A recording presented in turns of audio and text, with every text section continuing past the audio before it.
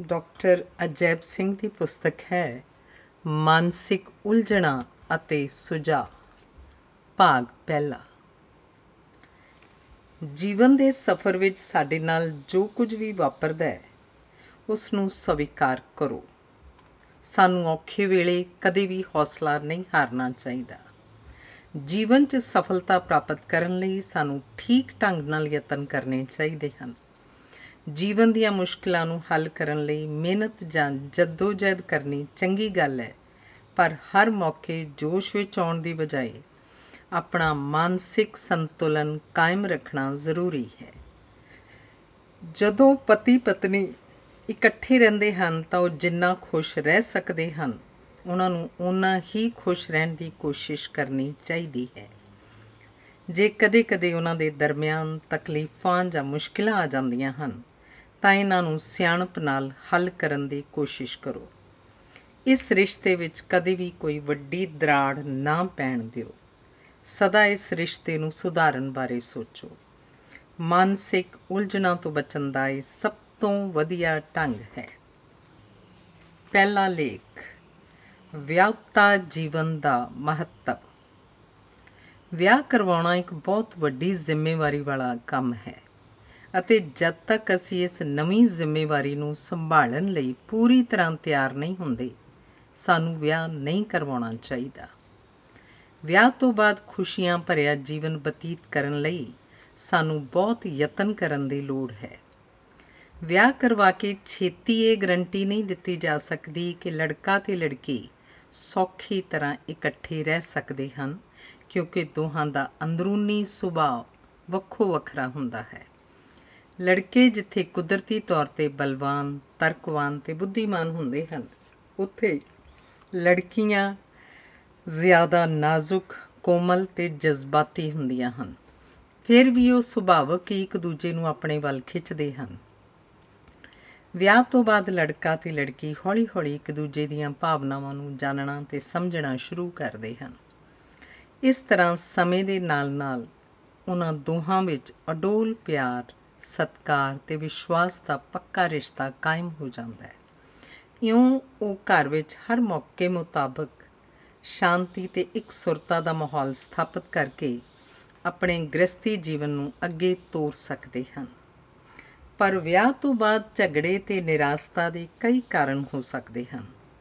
ਉਦਾਹਰਨ ਦੇ ਤੌਰ ਤੇ ਜੇ ਲੜਕੇ ਤੇ ਲੜਕੀ ਦਾ ਆਰਥਿਕ ਪਿਛੋਕੜ ਇੱਕੋ ਜਿਹਾ ਨਹੀਂ, ਇੱਕ ਸਾਥੀ ਬਹੁਤ ਅਮੀਰ ਹੈ ਤੇ ਦੂਸਰਾ ਗਰੀਬ ਪਰਿਵਾਰ ਨਾਲ ਸੰਬੰਧ ਰੱਖਦਾ ਹੈ, ਤਾਂ ਸੰਭਾਵਨਾ ਹੈ ਕਿ ਉਹਨਾਂ ਵਿੱਚ ਸੁਰਹੀਣਤਾ ਜਾਂ ਝਗੜਾ ਪੈਦਾ ਹੋਵੇ। ਜੇ ਲੜਕੀ ਅਮੀਰ ਪਰਿਵਾਰ ਵਿੱਚੋਂ ਹੈ, ਤਾਂ ਉਹਨੂੰ ਆਪਣੇ ਗਰੀਬ ਪਤੀ ਦੇ ਘਰ ਵਿੱਚ ਰਹਿਣਾ ਔਖਾ ਲੱਗੇਗਾ। ਇਸ ਤੋਂ ਇਲਾਵਾ ਕਿਸੇ ਸਾਥੀ ਦੀ ਮਾੜੀ ਸਿਹਤ ਵੀ ਝਗੜੇ ਦਾ ਕਾਰਨ ਬਣ ਸਕਦੀ ਹੈ। ਮਾੜੀ ਸਿਹਤ ਵਾਲੇ ਸਾਥੀ ਦਾ ਜੀਵਨ ਵਿੱਚੋਂ ਉਤਸ਼ਾਹ ਘਟਣਾ ਲਾਜ਼ਮੀ ਹੈ। ਮਾੜੀ ਸਿਹਤ ਸੰਭੋਗ ਦਾ ਆਨੰਦ ਮਾਣਨ ਵਿੱਚ ਵੀ ਰੁਕਾਵਟ ਪੈਦਾ ਕਰਦੀ ਹੈ। ਕਈ ਅੰਦਰੂਨੀ ਕਾਰਨ ਵੀ ਝਗੜੇ ਦਾ ਰੂਪ ਧਾਰਨ ਕਰ ਲੈਂਦੇ ਹਨ। ਜਿਨ੍ਹਾਂ ਦਾ ਸੰਬੰਧ ਲੜਕੇ ਤੇ ਲੜਕੀ ਦੇ ਵੱਖੋ ਵੱਖੇ ਵੱਖੋ ਵੱਖ ਸੁਭਾਅ ਤੇ ਆਦਤਾਂ ਨਾਲ ਹੈ। ਇਹ ਕੁਝ ਗੱਲਾਂ ਹਨ ਜਿਹੜੀਆਂ ਵਿਅਕਤਾ ਜੀਵਨ ਦੀ ਖੁਸ਼ੀ ਨੂੰ ਘਟਾਉਂਦੀਆਂ ਹਨ। ਇਸ ਲਈ ਵਿਆਹ ਤੋਂ ਪਹਿਲਾਂ ਇਹਨਾਂ ਸਾਰੀਆਂ ਗੱਲਾਂ ਵੱਲ ਉਚੇਚਾ ਧਿਆਨ ਦੇਣਾ ਜ਼ਰੂਰੀ ਹੈ। ਵਿਆਹ ਕੋਈ ਅਜਿਹੀ ਸੈਰ ਸਪਾਟੇ ਵਾਲੀ ਯਾਤਰਾ ਨਹੀਂ ਜਿਹੜੀ ਕਿ ਹਨੀਮੂਨ ਤੋਂ ਬਾਅਦ ਖਤਮ ਹੋ ਜਾਂਦੀ ਹੈ। ਇਹ ਜੀਵਨ ਦਾ ਇੱਕ ਔਖਾ ਸਫ਼ਰ ਹੈ ਜਿਹੜਾ ਸਾਰੀ ਉਮਰ ਜਾਰੀ ਰਹਿੰਦਾ ਹੈ। ਵਿਆਹ ਕੇਵਲ ਇੱਕ ਸਮਾਜਿਕ ਬੰਧਨ ਹੀ ਨਹੀਂ ਹੈ। ਹਿੰਦੂ ਫਿਲਾਸਫੀ ਅਨੁਸਾਰ ਵਿਆਹ ਕਰਵਾਉਣ ਦੇ ਤਿੰਨ ਮੁੱਖ ਮੰਤਵ ਹਨ। ਪਹਿਲਾ ਹੈ ਜੀਵਨ ਦੀ ਮੁੱਢਲੀ ਲੋੜ ਕਾਮ ਵਾਸਨਾ ਦੀ ਪੂਰਤੀ। ਦੂਜਾ ਹੈ ਪ੍ਰਤਿਭਾਸ਼ਾਲੀ ਔਲਾਦ ਪੈਦਾ ਕਰਨ ਲਈ ਖਾਸ ਵਿਧੀ ਦਾ ਪ੍ਰਯੋਗ, ਇਹ ਵਿਧੀ ਇੱਕ ਪੂਜਾ ਕਰਨ ਵਾਂਗ ਹੈ। ਇਸ ਦਾ ਜ਼ਿਕਰ ਅੱਗੇ ਕੀਤਾ ਜਾਏਗਾ। ਤੀਜਾ ਹੈ ਧਾਰਮਿਕ ਫਰਜ਼ਾਂ ਨੂੰ ਪੂਰਾ ਕਰਨਾ। ਭਾਵ ਗ੍ਰਸਤੀ ਜੀਵਨ ਦੇ ਨਾਲ-ਨਾਲ ਆਪਣਾ ਆਤਮਿਕ ਵਿਕਾਸ ਵੀ ਕਰਨਾ। ਇਉਂ ਆਦਮੀ ਤੇ ਔਰਤ ਦਰਮਿਆਨ ਇਹ ਪਵਿੱਤਰ ਬੰਧਨ ਸਮਾਜਿਕ ਹੀ ਨਹੀਂ, ਧਾਰਮਿਕ ਬੰਧਨ ਵੀ ਹੈ। ਹਿੰਦੂ ਧਰਮ ਵਿੱਚ ਵਿਆਹ ਨੂੰ ਅਮਰ ਸਬੰਧ ਸਮਝਿਆ ਜਾਂਦਾ ਹੈ, ਜਿਹੜਾ ਕਿ ਕਿਸੇ ਸਾਥੀ ਦੀ ਮੌਤ ਤੋਂ ਬਾਅਦ ਵੀ ਕਾਇਮ ਰਹਿੰਦਾ ਹੈ। ਇਸ ਲਈ ਵਿਆਹ ਤੋਂ ਬਾਅਦ ਨਿੱਜੀ ਰੁਚੀਆਂ ਨੂੰ ਬਹੁਤ ਘੱਟ ਮਹੱਤਤਾ ਦੇਣੀ ਚਾਹੀਦੀ ਹੈ। ਸਾਨੂੰ ਪਰਿਵਾਰਕ ਤੇ ਸਮਾਜਿਕ ਫਰਜ਼ਾਂ ਵੱਲ ਜ਼ਿਆਦਾ ਧਿਆਨ ਦੇਣ ਦੀ ਲੋੜ ਹੈ। ਵਿਆਹ ਤੋਂ ਬਾਅਦ ਪਤੀ ਨੂੰ ਪਤੀ ਪਤਨੀ ਨੂੰ ਸਦਾ ਖੁਸ਼ ਰਹਿਣ ਲਈ ਹਰ ਮੌਕੇ ਆਪਸ ਵਿੱਚ ਸਮਝੌਤਾ ਕਰਨ ਦੀ ਲੋੜ ਹੈ। ਵਿਆਹ ਇੱਕ ਸਿੱਖਣ ਵਾਲੀ ਕਲਾ ਹੈ ਤੇ ਇਸ ਕਲਾ ਦਾ ਸੰਬੰਧ ਸਿਆਣਪ ਨਾਲ ਹੈ, ਜੋ ਹਰ ਮਨੁੱਖ ਸਾਰਾ ਜੀਵਨ ਸਿੱਖਦਾ ਰਹਿੰਦਾ ਹੈ। ਵਿਆਹ ਦੇ ਨਿਰਮਾਣ ਲਈ ਪਿਆਰ ਬਹੁਤ ਮਹੱਤਵਪੂਰਨ ਹੈ, ਕਿਉਂਕਿ ਆਪਸੀ ਪਿਆਰ ਵਿਆਹਤਾ ਜੀਵਨ ਦੀ ਖੁਸ਼ੀ ਨੂੰ ਕਾਇਮ ਰੱਖ ਸਕਦਾ ਹੈ। ਪਰ ਪਿਆਰ ਦੀ ਪ੍ਰਾਪਤੀ ਲਈ ਕੁਰਬਾਨੀ ਕਰਨ ਦੀ ਲੋੜ ਹੈ। ਇਸ ਰਿਸ਼ਤੇ ਨੂੰ ਵਿਕਸਿਤ ਕਰਨ ਲਈ ਤਿੰਨ ਮੁੱਢਲੀਆਂ ਲੋੜਾਂ ਹਨ। ਪਹਿਲਾ, ਜੀਵਨ ਸਾਥੀ ਦੀ ਸਹੀ ਚੋਣ। ਭਾਵ ਉਹ ਸੋਹਣਾ ਹੋਵੇ, ਦੇਖਣ ਨੂੰ ਚੰਗਾ ਲੱਗੇ। ਦੂਸਰਾ ਹੈ ਪਰਸਪਰ ਸਮਰਪਣ। ਸਮਰਪਣ ਕਰਨ ਲਈ ਸਾਨੂੰ ਆਪਣੇ ਸਾਥੀ ਦਾ ਸੁਭਾਅ, ਇਰਾਦਾ ਤੇ ਆਦਤਾਂ ਬਾਰੇ ਪੂਰੀ ਤਰ੍ਹਾਂ ਪਤਾ ਹੋਣਾ ਚਾਹੀਦਾ ਹੈ। ਇਹ ਕੁਝ ਦਿਨਾਂ ਜਾਂ ਮਹੀਨਿਆਂ ਦਾ ਕੰਮ ਨਹੀਂ ਹੈ। ਕਿਸੇ ਦੇ ਸੁਭਾਅ ਤੇ ਇਰਾਦੇ ਤੋਂ ਜਾਣੂ ਹੋਣ ਲਈ ਸਾਨੂੰ ਕਈ ਸਾਲ ਲੱਗ ਸਕਦੇ ਹਨ। ਤੀਸਰਾ ਹੈ ਆਪਸੀ ਹੁੰਗਾਰਾ। ਇਹ ਭਾਵਨਾ ਕੁਦਰਤੀ ਤੌਰ ਤੇ ਪਹਿਲੀਆਂ ਦੋ ਲੋੜਾਂ ਦੀ ਪੈਰਵੀ ਕਰਦੀ ਹੈ ਤੇ ਇਹੋ ਪਿਆਰ ਦੀ ਸ਼ਾਨ ਹੈ। ਜਦੋਂ ਸਾਨੂੰ ਆਪਸੀ ਹੁੰਗਾਰਾ ਮਿਲਣਾ ਸ਼ੁਰੂ ਹੋ ਜਾਏ ਤਾਂ ਸਮਝੋ ਸਾਡਾ ਪਿਆਰ ਵਿਕਸਿਤ ਹੋ ਗਿਆ ਹੈ। ਹੁਣ ਅਸੀਂ ਹੌਸਲੇ ਨਾਲ ਜੀਵਨ ਦੀ ਹਰ ਮੰਗ ਨੂੰ ਪੂਰਾ ਕਰਨ ਲਈ ਤਿਆਰ ਹੋ ਜਾਂਦੇ ਹਾਂ। ਵਿਵਾਹਿਕ ਜੀਵਨ ਵਿੱਚ ਖੁਸ਼ੀ ਯਤਨ ਕਰਨ ਤੋਂ ਬਿਨਾ ਨਹੀਂ ਮਿਲਦੀ। ਕਿਸੇ ਗਲਤਫਹਿਮੀ ਤੋਂ ਉਪਜਿਆ ਤਲਾਕ ਵੀ ਸਾਡੇ ਜੀਵਨ ਵਿੱਚ ਖੁਸ਼ੀ ਨਹੀਂ ਲਿਆ ਸਕਦਾ। ਤਲਾਕ ਤਾਂ ਇਸ ਗੱਲ ਵੱਲ ਇਸ਼ਾਰਾ ਕਰਦਾ ਹੈ ਕਿ ਮਨੁੱਖ ਨੇ ਆਪਣੇ ਜੀਵਨ ਵਿੱਚ ਨਿਰਾਸ਼ ਹੋ ਕੇ ਹਾਰ ਮੰਨ ਲਈ ਹੈ, ਪਰ ਅੱਜਕੱਲ ਪਰਿਵਾਰਕ ਜੀਵਨ ਵਿੱਚ ਝਗੜੇ ਤੇ ਤਲਾਕ ਵੱਧ ਰਹੇ ਹਨ। ਵਿਆਹ ਤੋਂ ਬਾਅਦ ਅਸਲ ਵਿੱਚ ਇੱਕ ਦੂਜੇ ਨੂੰ ਸਮਝਣ ਲਈ ਘੱਟ ਤੋਂ ਘੱਟ 3 ਜਾਂ 4 ਸਾਲ ਲੱਗ ਜਾਂਦੇ ਹਨ। ਪਤਨੀ ਚਾਹੁੰਦੀ ਹੈ ਉਹਦਾ ਪਤੀ ਸਿਆਣਾ ਤੇ ਵਫਾਦਾਰ ਹੋਵੇ। ਉਸ ਵਿੱਚ ਮਰਦਾਂ ਵਾਲੇ ਸਾਰੇ ਗੁਣ ਹੋਣ ਤੇ ਉਹ ਘਰ ਵਿੱਚ ਰਹਿ ਕੇ ਪਰਿਵਾਰ ਦੇ ਫਰਜ਼ਾਂ ਨੂੰ ਜ਼ਿੰਮੇਵਾਰੀ ਨਾਲ ਨਿਭਾਵੇ। ਪਤੀ ਵੀ ਆਪਣੀ ਪਤਨੀ ਤੋਂ ਤਿੰਨ ਗੱਲਾਂ ਦੀ ਮੰਗ ਕਰਦਾ ਹੈ। ਪਹਿਲਾ, ਉਹ ਇੱਕ ਚੰਗੀ ਸੁਆਣੀ ਬਣੇ। ਉਹ ਘਰ 'ਚ ਸਫ਼ਾਈ ਰੱਖੇ ਤੇ ਰਸੋਈ ਦੇ ਕੰਮ 'ਚ ਪੂਰੀ ਤਰ੍ਹਾਂ ਨਿਪੁੰਨ ਹੋਵੇ। ਦੂਸਰਾ, ਉਹ ਆਪਣਾ, ਆਪਣੇ ਸਰੀਰ ਤੇ ਸਿਹਤ ਨੂੰ ਠੀਕ ਠਾਕ ਰੱਖੇ ਤਾਂ ਕਿ ਬੱਚੇ ਤੰਦਰੁਸਤ ਪੈਦਾ ਹੋਣ। ਤੀਸਰਾ, ਉਹ ਇੱਕ ਚੰਗੀ ਮਾਂ ਬਣੇ। ਭਾਵ ਉਸ ਨੂੰ ਬਾਲ ਮਨੋਵਿਗਿਆਨ ਦਾ ਸਹੀ ਗਿਆਨ ਹੋਵੇ ਤਾਂ ਕਿ ਉਹ ਆਪਣੇ ਬੱਚਿਆਂ ਦਾ ਪਾਲਣ ਪੋਸ਼ਣ ਠੀਕ ਢੰਗ ਨਾਲ ਕਰੇ। ਹਰ ਪਤੀ ਇਹਨਾਂ ਤਿੰਨਾਂ ਮਹੱਤਵਪੂਰਨ ਮੰਗਾਂ ਉੱਪਰ ਜ਼ੋਰ ਦਿੰਦਾ ਹੈ। ਜਿਹੜੀਆਂ ਸਮਝਦਾਰ ਪਤਨੀਆਂ ਇਹ ਤਿੰਨੇ ਮੰਗਾਂ ਪੂਰੀਆਂ ਕਰਦੀਆਂ ਹਨ, ਉਹਨਾਂ ਦੀ ਘਰ ਵਿੱਚ ਬਹੁਤ ਇੱਜ਼ਤ ਹੁੰਦੀ ਹੈ ਤੇ ਉਹਨਾਂ ਨੂੰ ਆਦਰਸ਼ ਔਰਤਾਂ ਕਿਹਾ ਜਾਂਦਾ ਹੈ। ਅਜਿਹਾ ਪਰਿਵਾਰ ਸਭ ਤੋਂ ਖੁਸ਼ਕਿਸਮਤ ਪਰਿਵਾਰ ਬਣ ਸਕਦਾ ਹੈ। ਫਿਰ ਕੋਈ ਵੀ ਪਤੀ ਖੁਸ਼ੀ ਤੇ ਸ਼ਾਂਤੀ ਲੱਭਣ ਲਈ ਘਰ ਤੋਂ ਬਾਹਰ ਨਹੀਂ ਜਾ ਸਕਦਾ। ਧੰਨਵਾਦ। ਡਾਕਟਰ ਅਜੈਬ ਸਿੰਘ ਦੀ ਪੁਸਤਕ ਮਾਨਸਿਕ ਉਲਝਣਾਂ ਤੇ ਸੁਝਾਅ ਦਾ ਦੂਸਰਾ ਲੇਖ, ਪਤੀ ਪਤਨੀ ਦਾ ਆਪਸੀ ਸਬੰਧ। ਕੀ ਪਤੀ ਤੇ ਪਤਨੀ ਝਗੜਾ ਕਰਨ ਤੋਂ ਬਗੈਰ ਵੀ ਇਕੱਠੇ ਰਹਿ ਸਕਦੇ ਹਨ? ਉੱਤਰ ਹੈ ਹਾਂ। ਪਰ ਇਹ ਸਮਝਣਾ ਜ਼ਰੂਰੀ ਹੈ ਕਿ ਜਿੱਥੇ ਪਿਆਰ ਹੈ ਉੱਥੇ ਸਭ ਕੁਝ ਹੈ। ਪਿਆਰ ਸਾਡੇ ਜੀਵਨ ਵਿੱਚ ਚੰਗਿਆਈ ਪੈਦਾ ਕਰਦਾ ਹੈ। ਝਗੜੇ ਤੇ ਮਤਭੇਦ ਪਿਆਰ ਨੂੰ ਖਤਮ ਨਹੀਂ ਕਰ ਸਕਦੇ। ਜੇ ਪਤੀ ਤੇ ਪਤਨੀ ਦੋਵੇਂ ਆਪਸ ਵਿੱਚ ਪਿਆਰ ਕਰਨ, ਤਾਂ ਉਹ ਆਪੋ ਆਪਣੇ ਢੰਗ ਅਨੁਸਾਰ ਇਕੱਠੇ ਰਹਿ ਸਕਦੇ ਹਨ। ਫਿਰ ਉਹਨਾਂ ਦਾ ਪਿਆਰ ਕਦੇ ਵੀ ਮਿਟ ਨਹੀਂ ਸਕਦਾ। ਮਹੱਤਵਪੂਰਨ ਗੱਲ ਇਹ ਹੈ ਕਿ ਉਹਨਾਂ ਵਿੱਚ ਪਵਿੱਤਰ ਪਿਆਰ ਦਾ ਰਿਸ਼ਤਾ ਸਥਾਪਿਤ ਹੋਣਾ ਜ਼ਰੂਰੀ ਹੈ। ਪਿਆਰ ਦਾ ਸੰਭੋਗ ਨਾਲ ਜਾਂ ਬੁੱਧੀ ਨਾਲ ਕੋਈ ਸਬੰਧ ਨਹੀਂ ਹੈ। ਪਿਆਰ ਦਾ ਸਬੰਧ ਸਿਆਣਪ ਨਾਲ ਹੈ, ਸਮਰਪਣ ਨਾਲ ਹੈ। ਪਿਆਰ ਨੂੰ ਸ਼ਬਦਾਂ ਵਿੱਚ ਨਹੀਂ ਦੱਸਿਆ ਜਾ ਸਕਦਾ। ਪਤੀ ਤੇ ਪਤਨੀ ਦਾ ਇਹ ਮਿਲਾਪ ਸ਼ਬਦਾਂ ਦੇ ਖੇਤਰ ਤੋਂ ਪਰੇ ਹੈ। ਪਰ ਜੇ ਉਹ ਦੋਵੇਂ ਇਕੱਠੇ ਬੈਠ ਕੇ ਆਪਣੇ ਦਿਲ ਦੀਆਂ ਗੱਲਾਂ ਸਾਂਝੀਆਂ ਕਰ ਸਕਦੇ ਹਨ, ਤਾਂ ਉਹਨਾਂ ਦੀ ਤਾਕਤ ਦੁੱਗਣੀ ਨਹੀਂ, ਸਗੋਂ ਕਈ ਗੁਣਾ ਵੱਧ ਜਾਂਦੀ ਹੈ ਤੇ ਉਹ ਸਦਾ ਖੁਸ਼ ਰਹਿ ਸਕਦੇ ਹਨ। ਜੇ ਪਤੀ ਤੇ ਪਤਨੀ ਵਿਆਹ ਤੋਂ ਬਾਅਦ ਮੌਤ ਦੇ ਪਲ ਤੱਕ ਇੱਕ ਦੂਜੇ ਪ੍ਰਤੀ ਸੁਚੇਤ ਰਹਿ ਸਕਦੇ ਹਨ, ਤਾਂ ਸਮਝ ਲਓ ਉਹਨਾਂ ਦਾ ਆਪਸ ਵਿੱਚ ਪਿਆਰ ਹੈ। ਪਿਆਰ ਕਦੇ ਵੀ ਘਟਦਾ ਜਾਂ ਵੱਧਦਾ ਨਹੀਂ। ਕਦੇ-ਕਦੇ ਅਜਿਹੇ ਘਰੇਲੂ ਹਾਲਾਤ ਜ਼ਰੂਰ ਪੈਦਾ ਹੋ ਸਕਦੇ ਹਨ, ਜਿਹੜੇ ਪਿਆਰ ਨੂੰ ਧੁੰਦਲਾ ਕਰ ਦਿੰਦੇ ਹਨ। ਪਰ ਸੱਚਾ ਪਿਆਰ ਪਤੀ ਤੇ ਪਤਨੀ ਦਰਮਿਆਨ ਫਿਰ ਚੰਗੇ ਹਾਲਾਤ ਪੈਦਾ ਕਰਨ ਦੇ ਸਮਰੱਥ ਹੁੰਦਾ ਹੈ। ਇਸ ਕਰਕੇ ਪਹਿਲੀ ਗੱਲ ਇਹ ਹੈ ਕਿ ਪਤੀ ਤੇ ਪਤਨੀ ਦੇ ਦਰਮਿਆਨ ਪਿਆਰ ਦਾ ਰਿਸ਼ਤਾ ਸਥਾਪਿਤ ਹੋਣਾ ਜ਼ਰੂਰੀ ਹੈ। ਜਿੱਥੇ ਪਿਆਰ ਹੈ, ਉੱਥੇ ਤਲਾਕ ਕਦੇ ਵੀ ਨਹੀਂ ਹੋ ਸਕਦਾ।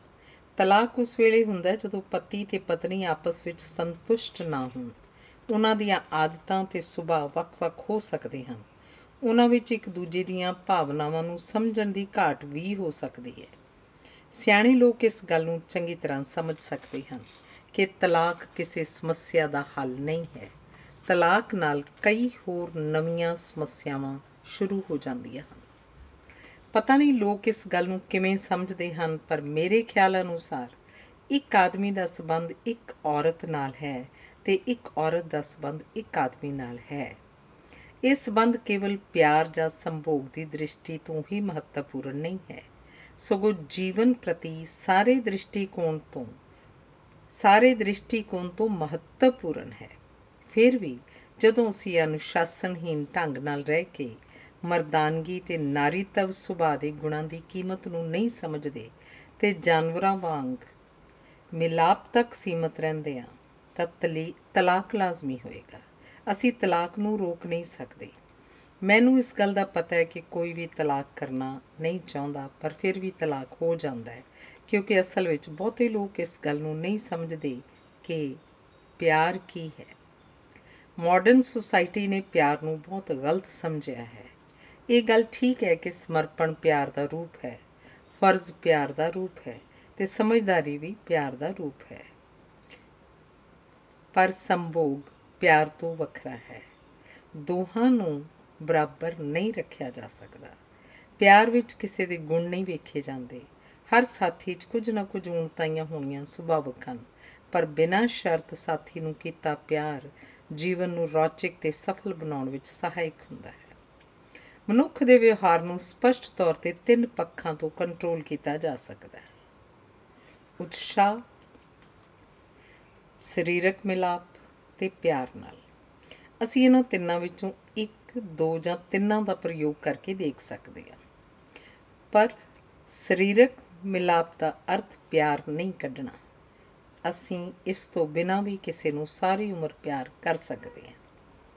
ਅਸੀਂ ਪਿਆਰ ਤੋਂ ਬਗੈਰ ਵੀ ਸਰੀਰਕ ਸੰਬੰਧ ਕਾਇਮ ਕਰ ਸਕਦੇ ਹਾਂ। ਅਸੀਂ ਪੀਅਰ ਤੇ ਸੰਭੋਗ ਤੋਂ ਬਗੈਰ ਵੀ ਆਪਣੇ ਉਤਸ਼ਾਹ ਨੂੰ ਜਾਰੀ ਰਸ- ਰੱਖ ਸਕਦੇ ਹਾਂ। ਪਰ ਮੁੱਖ ਗੱਲ ਇਹ ਹੈ ਕਿ ਪਤੀ ਤੇ ਪਤਨੀ ਨੂੰ ਬੱਚਿਆਂ ਦੇ ਹਿੱਤ ਲਈ ਆਪਸ ਵਿੱਚ ਪਿਆਰ ਨੂੰ ਵਧਾਉਣਾ ਚਾਹੀਦਾ ਹੈ। ਇਹ ਪਿਆਰ ਕੇਵਲ ਸਰੀਰਕ ਨੇੜਤਾ ਤੱਕ ਹੀ ਸੀਮਤ ਨਹੀਂ ਹੋਣਾ ਚਾਹੀਦਾ। ਉਹਨਾਂ ਨੂੰ ਅਜਿਹੀਆਂ ਗੱਲਾਂ ਵੱਲ ਧਿਆਨ ਦੇਣਾ ਚਾਹੀਦਾ ਜਿਹੜੀਆਂ ਦੋਹਾਂ ਨੂੰ ਪਸੰਦ ਹੋਣ। ਕਈ ਵਿਸ਼ੇ ਹੋ ਸਕਦੇ ਹਨ, ਜਿਵੇਂ ਕਿ ਸਾਹਿਤ ਪੜ੍ਹਨਾ, ਸੰਗੀਤ ਸੁਣਨਾ, ਯੋਗਾ, ਚਿੱਤਰਕਾਰੀ ਕਰਨਾ, ਇਕੱਠੇ ਸੈਰ ਕਰਨਾ, ਪਹਾੜਾਂ ਦੀ ਯਾਤਰਾ, ਖੇਡਾਂ ਆਦਿ। ਪਤੀ ਤੇ ਪਤਨੀ ਵਿਹਲੇ ਸਮੇਂ ਘੱਟ ਤੋਂ ਘੱਟ 1 ਘੰਟਾ ਅਜਿਹੇ ਵਿਸ਼ੇ ਬਾਰੇ ਗੱਲਾਂ ਕਰ ਸਕਦੇ ਹਨ, ਜਿਸ ਵਿਸ਼ੇ ਵਿੱਚ ਦੋਹਾਂ ਨੂੰ ਦਿਲਚਸਪੀ ਹੋਵੇ। ਇਸ ਤਰ੍ਹਾਂ ਉਹਨਾਂ ਦਾ ਗਿਆਨ ਵੀ ਵਧੇਗਾ ਤੇ ਇੱਕ ਦੂਜੇ ਪ੍ਰਤੀ ਪਿਆਰ ਵੀ ਵਧੇਗਾ। ਪਤੀ ਨੂੰ ਆਪਣੀ ਪਤਨੀ ਵਿੱਚੋਂ ਉਹਦਾ ਸ਼ੌਕ ਜਾਂ ਵਿਸ਼ੇਸ਼ ਰੁਚੀ ਲੱਭਣ ਦੀ ਲੋੜ ਹੈ ਤੇ ਪਤਨੀ ਨੂੰ ਪਤੀ ਵਿੱਚੋਂ ਚੰਗੀਆਂ ਸੰਭਾਵਨਾਵਾਂ। ਦੋਹਾਂ ਨੂੰ ਇੱਕ ਦੂਜੇ ਵਿੱਚੋਂ ਵਿਸ਼ੇਸ਼ ਪ੍ਰਸ਼ੰਸਾ ਕਰਨ ਯੋਗ ਗੁਣ ਲੱਭਣੇ ਚਾਹੀਦੇ ਹਨ। ਇੱਕ ਦੂਜੇ ਵਿੱਚੋਂ ਮਿਸ ਯੂਨੀਵਰਸ ਜਾਂ ਮਿਸਟਰ ਯੂਨੀਵਰਸ ਲੱਭਣਾ ਈਲੂ ਈਲੂ ਜਾਂ ਮਾਈ ਡਾਰਲਿੰਗ ਮਾਈ ਡਾਰਲਿੰਗ ਤੱਕ ਸੀਮਤ ਰਹਿਣ ਨਾਲ ਨਿਰਾਸ਼ਤਾ ਹੀ ਮਿਲੇਗੀ। ਜੇ ਪਤੀ ਤੇ ਪਤਨੀ ਇਹੋ ਜੀਆਂ ਫੋਕੀਆਂ ਗੱਲਾਂ ਖੋ- ਖੋਜਣਗੇ, ਤਾਂ ਉਹਨਾਂ ਦਾ ਆਪਸ ਵਿੱਚ ਗੂੜਾ ਪਿਆਰ ਨਹੀਂ ਹੋ ਸਕਦਾ।